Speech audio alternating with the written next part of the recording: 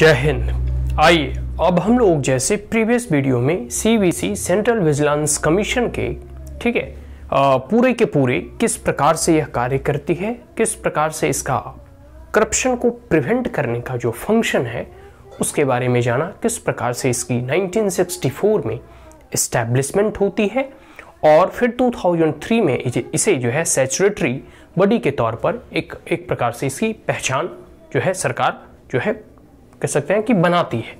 अब जो है हम लोग सेंट्रल विजिलेंस कमीशन के कंपोजिशन ठीक है? इसके अंतर्गत कितने मेंबर किस प्रकार से चेयरमैन होते हैं और इसकी नियुक्ति कौन करते हैं, इन तमाम चीज़ों के बारे में जानेंगे। और साथ साथ यह जानेंगे कि इन्हें किन किन ग्राउंड पे जो है इन्हें इनके पद से बर्खास्त किया जा सकता है और सैलरी और अलाउंसेस के बारे में। स्टार्ट क्लियर तो सबसे पहले जान लेते हैं कंपोजिशन में यह मल्टी मेंबर बॉडी है, जिसके अंतर्गत एक चेयरमैन और दो कमिश्नर होते हैं। ठीक है, एक चेयरमैन और दो कमिश्नर मतलब तीन मेंबर की यह बॉडी होती है। ठीक है अपॉइंटेड बाई प्रेसिडेंट और यह प्रेसिडेंट के द्वारा अपॉइंट किए जाते हैं। लेकिन एक कमिटी होती है, उस कमिटी के रिकमेंडेशन के अनुसार जो है राष्ट्रपति इनकी नियुक्ति करते हैं। देखो तो वो कमिटी में जो है तीन कह सकते हैं कि सदस्यीय कमिटी होती है, जिसके की कह सकते हैं कि अंतर्गत प्रधानमंत्री, ministry of ministry of home affairs मतलब गृह मंत्री और साथ साथ leader of opposition of Lok Sabha. ठीक है, लोकसभा जो हमारा है, ठीक है, उस लोकसभा के जो लीडर ऑफ़ द अपोजिशन होते हैं गृह मंत्री और प्रधानमंत्री, इन तीन जो है कमिटी के द्वारा फैसला लिया जाता है कि किन्हें सीबीसी सेंट्रल विजिलेंस कमीशन के जो है चेयरमैन के पद पर नियुक्त करना है और किन्हें जो है एज जो है मेंबर के तौर पर मतलब कमिश्नर के तौर पर किनकी नियुक्ति करनी है। और यह तीनों मेंबर जो है अपने रिकमेंडेशन जो है राष्ट्रपति को सेंड करते हैं और राष्ट्रपति फिर इनकी जो है अपॉइंटमेंट करते हैं। ठीक है? राष्ट्रपति के द्वारा इनकी नियुक्ति की जाती है। टर्म अगर तो चार साल के लिए इनकी अपॉइंटमेंट की जाती है फोर ईयर के लिए। टिल सिक्सटी फाइव पैंसठ सालों तक। ठीक है?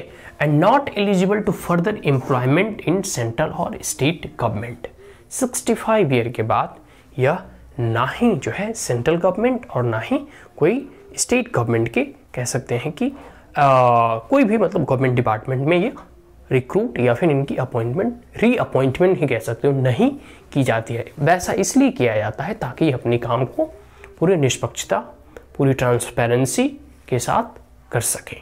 ठीक है? ताकि इन्हें एक प्रकार से कह सकते हैं कि ऐसा मतलब एक कुछ कुछ बहुत, कुछ क्या, बहुत सारे ऐसे सर्विसेज़ हैं। जैसे यूपीएससी के चेयरमैन हो गए इलेक्शन कमीशन के चेयरमैन में इनको इनको जो है फिर से रीअपॉइंट नहीं किया जाता है ताकि जिस भी जो कार्य को कर रहे हैं, उसे पूरी एकदम न्यूट्रल और निष्पक्षता के साथ करें। कोई भविष्य का, जो कह सकते हैं पर्क्स एंड प्रिविलेज देखकर वर्तमान के कार्य प्रभावित ना हो, इसके लिए ये सेफगार्ड मेजर्स और कह सकते हैं कि प्रावधान जो है, संविधान में रखे जाते हैं। एक प्रकार से कोई भी बॉडी वगैरह जो बनाई जाती है, ऐसे जो कि जैसे विजिलेंस डिपार्टमेंट या विजिलेंस कमीशन हो यूपीएससी हो इलेक्शन कमीशन हो, ठीक है? तो आगे है रिमूवल अब तो हम इनके नियुक्ति और इनके अपॉइंटमेंट के बारे में देख लिया। अब किस किस बिहाब पे किस किस ग्राउंड पे इन्हें, इनके पद से बर्खास्त किया जाता है? ठीक है, किया जा सकता है या फिर इन्हें इनके पद से हटाया जा सकता है, इन्हें रिमूव किया जा सकता है, उसके बारे में जानेंगे। सबसे पहला है एजर्स्ड एंड इंसॉल्वेंट इंसॉल्वेंट मतलब दिवालिया यहाँ पर। दिवालिया बहुत सेंस में होता है कि अगर यह एडजस्ट एंड इंसॉल्वेंट अगर घोषित हो जाते हैं, उस परिस्थिति में इन्हें जो है इनके पद से बर्खास्त कर दिया जाता है। दूसरा है कन्विक्टेड फॉर एन ऑफेंस किसी भी ऑफेंस के लिए, किसी भी सिंपल से कोई क्राइम हो या कोई भी चीज़ के लिए अगर कोर्ट के द्वारा इन्हें सज़ा सुना दी जाती है स्वाभाविक सी बात है। अगर आपके या किसी भी व्यक्ति के पक्ष में, ठीक है, अगर दोषी करार दे दिया जाता है न्यायालय के द्वारा तो वो तो फिर व्यक्ति जेल चला जाएगा तो काम कैसे करेगा? ठीक है तो इस परिस्थिति में इन्हें इनके पद से बर्खास्त कर दिया जाता है। आगे है engage during term office in any paid employment outside the office जब यह ऑफ़िस में होते हैं मतलब 65 ईयर तक और फोर ईयर जब वो अपने कार्यकाल में होते हैं।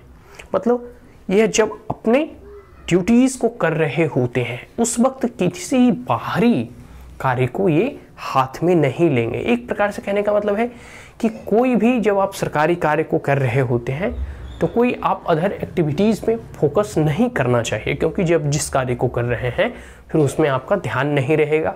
या फिर आप अधिक जो है ग्रीडी हो जाएँगे, पैसा मोनिट्री टर्म में या किसी भी पेड एम्प्लॉयमेंट आप जो है नहीं कर सकते। मतलब आप अगर गवर्नमेंट आपको तनख्वाह दे रही है गवर्नमेंट जॉब में है तो इन डैट केस वो भी इतने बड़े पद पर, जब आप सी के चेयरमैन या मेंबर हैं तो उस परिस्थिति में अगर आप कहीं और, अगर पेड एम्प्लॉयमेंट में पार्टिसिपेट करते हैं। तो इससे यह माना जाएगा कि आप मोनिटरी लाभ इधर से भी ले रहे हैं और उधर से भी ले रहे हैं। काम दोनों जगह कर रहे हैं, ध्यान दोनों जगह बट रहा है।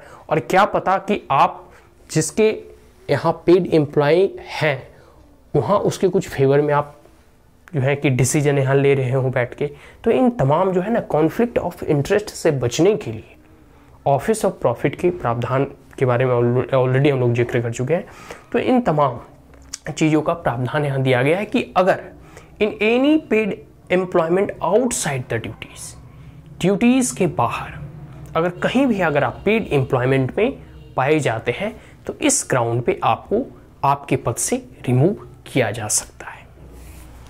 आगे है unfit to continue in office reason for infirmity of mind and body देखो infirmity of mind and body कहने का मतलब है कि अगर आपका मानसिक होता है ना कि व्यक्ति कोई चाहे एक्सीडेंट कर जाए या कोई डिज़ीज़ हो जाए, इन तमाम परिस्थितियों में, ठीक है, अगर माइंड जो है सही प्रकार से कार्य नहीं कर रहा है या शरीर आपकी, ठीक है, आपका सहायता नहीं कर रहा है, उस परिस्थिति में अगर आप अनफिट हैं फिजिकली मेंटली ठीक है इन डेट केस जो है आपको आपके पद से रिमूव किया जा सकता है सीबीसी के चेयरमैन और उनके मेंबर को। आगे है acquired such financial and other interest as likely to affect और प्रिजुडाइसली ऑफिसर्स फ़ंक्शन देखो, कोई भी जब ऑफिसर्स फ़ंक्शन आप कर रहे होते हैं तो सरकार आपको तनख्वाह देती है, सिर्फ़ वही आपको लेना है। अगर कोई आपको स्वेच्छा से भी दे रहा है कि चलिए हम आपको गहने दे देते हैं, आपको ज्वेलरी दे देते हैं, या फिर आपको हम बंगला गिफ्ट कर देते हैं, आपको कार गिफ्ट कर देते हैं, वह आपको एक्सेप्ट नहीं करना चाहिए। ये सब जो जब गवर्नमेंट एम्प्लॉय जब होते हैं, जब उनकी ट्रेनिंग वगैरह होती है, उस वक्त उसे बताया जाता है। ठीक है? तो उस परिस्थिति में जब कोई भी फिनेंशियल या आर्थिक लाभ आप सरकार के अपेक्षा मतलब सरकार जो सैलरी देती है, उसके अलावा आप कहीं से भी अगर आर्थिक लाभ प्राप्त करते हैं तो वह एक प्रकार से घूस माना जाता है। और ये कमीशन ही है कि घूस को प्रिवेंट करना है करप्शन को रोकना है। और उसी के मेंबर अगर घूस लेने लगे, प्रत्यक्ष या अप्रत्यक्ष रूप से तो क्या परिस्थिति हो जाएगी आप समझो। सारा नैया डामाडोल हो जाएगा, डूब जाएगा। इसीलिए जो है, ठीक है other interest as likely to affect और वह जो है, पूरी की पूरी तरह से आप जिस कार्य को कर रहे हैं, आपके डिसीज़न को वह इम्पैक्ट कर सकता है, उसे इन्फ्लुएंस कर सकता है। Is that clear?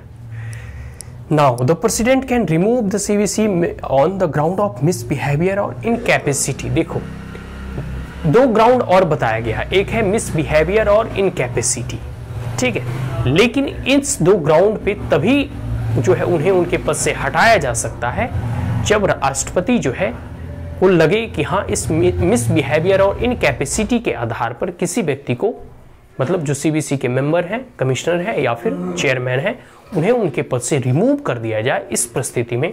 सबसे पहले वह सुप्रीम कोर्ट को जो है एक इंक्वायरी करने के लिए बोलते हैं और सुप्रीम कोर्ट जब इन्हें दोषी पाती है, ठीक है, जब इन्हें गिल्टी फाउंड करती है इन डैट केस इन्हें इनके पद से रिमूव कर सकते हैं। लेकिन मिसबिहेव और इनकैपेसिटी का जो आधार है इन्हें रिमूव करने का, वह जो है पहले सुप्रीम कोर्ट के इंक्वायरी से होकर गुजरना होता है। इसके बाद ही इन्हें रिमूव किया जा सकता है। आगे है, देखो, एक चीज़ है कि सैलरी अलाउंसेस और कंडीशंस जो टर्म कंडीशन हो गया सैलरी हो गया अलाउंसेस हो गए, ये सब किसके बराबर होता है? तो यूपीएससी के जो चेयरमैन हैं और उसके समकक्ष में, जो यूपीएससी के चेयरमैन को जितनी सैलरी अलाउंसेस बॉक्स प्रिविलेज ठीक है, और ठीक उसी प्रकार जो कह सकते हैं सीबीसी के जो चेयरमैन होंगे, दोनों का समानांतर होगा पैरेलल होगा।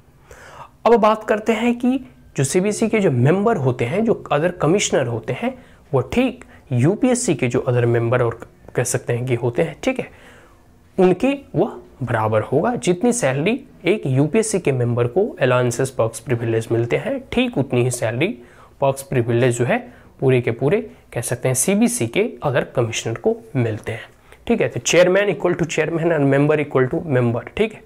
तो ये क्लियर हो गए पूरे के पूरे कि सेंट्रल विजिलेंस कमीशन का कंपोजिशन क्या है? कितने टर्म के लिए या एक, मतलब टर्म ईयर के लिए अपॉइंट किए जाते हैं? किन के द्वारा इनकी अपॉइंटमेंट होती है? किस किस ग्राउंड पे इन्हें रिमूव किया जा सकता है? और साथ साथ जो है किस प्रकार से इनके जो है सैलरी अलाउंसेस वगैरह जो है पूरी की पूरी चीज़ निर्धारित किए जाते हैं। लेकिन एक चीज़ इसमें और है कि जो भी सैलरी अलाउंसेस एक बार अपॉइंटमेंट के दौरान निर्धारित कर दी जाती है, उसे भी, उसे जो है बीच में मिड टर्म में कभी भी जो है उसे ना घटाया जा सकता है। ठीक है, और एक प्रकार से बढ़ाया तो जा सकता है, लेकिन घटाया नहीं जा सकता। मतलब सरकार उसमें इंटरफेयर नहीं करती है। अगर ऐसा होने लगे तो मान लो किसी जो गवर्नमेंट का सेंट्रल डिपार्टमेंट है, कोई मिनिस्टर कोई मंत्रालय है, कोई डिपार्टमेंट है मिनिस्ट्री का उसी पे करप्शन का कह सकते हैं कि चार्जेस लगा हुआ है सेंट्रल विजिलेंस कमीशन जो है उसी के डिपार्टमेंट में छापा मार रही है। और वो बोल दे कि भाई, तुमने हमारे ऊपर छापा मारा है, अब तुम्हारा हम सैलरी कट कर लेंगे, तुम्हारे अलाउंसेस रोक लेंगे, ठीक है? तो ये सब नहीं हो सकता। एक बार जो सैलरी पर्क्स प्रिविलेज अलाउंसेस जो निर्धारित कर दिए जाते हैं, उसे कभी भी सरकार जल्दी बदल नहीं सकती।